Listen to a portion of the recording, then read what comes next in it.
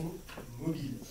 Tout le monde maintenant, 90%, se, rendent sur les réseaux sociaux et consomment du contenu sur les mobiles. Qu'est-ce que ça veut dire? Ça veut dire que lorsque vous publiez, il faut garder à l'esprit, il faut avoir donc des formats qui soient mobile euh, friendly.